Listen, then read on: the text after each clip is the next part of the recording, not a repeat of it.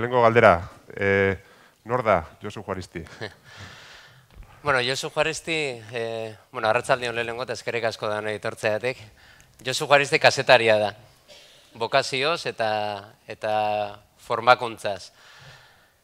E, bokazioz, e, txikitatik gaukidolako oso garbi, kasetari izan naizula eta nazioarteri begira izan naizula. Beti izatet, bueno, nire aitak sartu zidala etxean e, kanpora begirako greina hori, biltzezalako munduan zehar, e, ez diplomatiko ez pentsa olakorik, e, makina remintan egiten zuen lana eta makina montatzen eta konpontzen ibiltzen zen.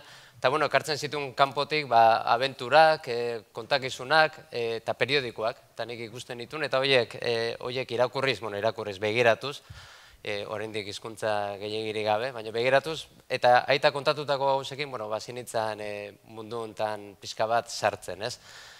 Eginen lanean hasi nitzanean e, oso garbi dukinun nazioartean egin nahi nula, hasi nitzan herriko korresponsal, gero kulturan pixka bat, eta segituan e, nazioartera.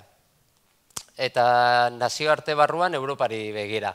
Europari begira, uste nulako oso importantea zela, sekulako eragina zuela gugan eta ez genula behar bezala ezagutzen. Gogoratzen naiz e, Saluk, e, Javier Salutrek izan zidala, baina diploma egin barde posgradua eta unibertsitatean da, ba, bueno, bueno, junai eta ikasi izak eta eta hala, hala junetzen, hasi nintzen e, prestatzen, formatzen, gero bidaiatzen altzanean, eta garan ere, ba, ba ontaz idazten, ez? Eta hortik ona, e, Europako Parlamentuari buruz e, amar mila aldiz idazten, eta orain barrotik ezagutzeko gogoz, eta eta EH Bilduren barruan, ba, neure ekarpena eta lantaldean lan egiteko e, gogoarekin.